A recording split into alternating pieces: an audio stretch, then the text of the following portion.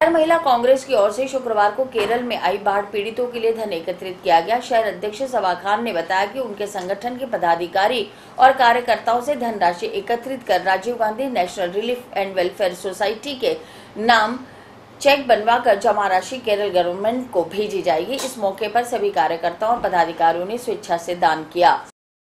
में जो बाढ़ आई है, उसके बाद वहाँ में वहाँ पर जो तबाही मची हुई है, उससे वो केरला शायद कई सालों तक नहीं उभर था।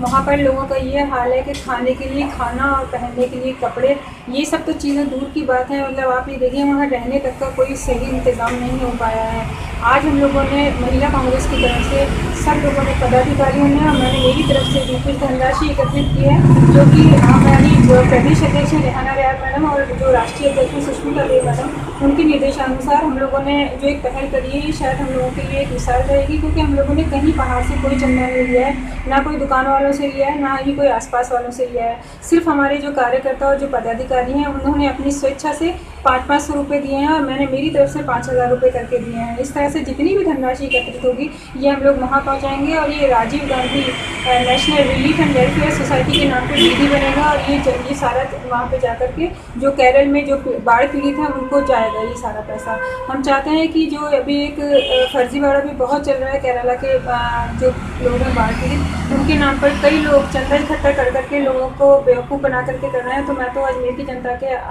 ये एक ही संदेश देना चाहूँगी आपके चैनल के माध्यम से कि आप लोगों को लग रहा है कि वो सही पैसा वहाँ तक जा रहा है तो ही आप मदद करें, वरना डायरेक्ट आप उन लोगों से कॉन्टैक्ट करें जो कि केरला में बाढ़ पीड़ितों के लिए यहाँ पे नियुक्त स्वामी न्यूज़ के सभी दर्शक तरोताजा खबरों के लिए यूट्यूब पर स्वामी न्यूज़ को सब्सक्राइब करें। साथ ही शहर से जुड़ी तमाम खबरों के तुरंत अपडेट्स के लिए बेल आइकन पर क्लिक करें। यह न्यूज़ आपको कैसी लगी? इसके लिए हमें कमेंट बॉक्स में आपके अमूल्य सुझाव दीजिए और इस वीडियो को लाइक व शेयर करें।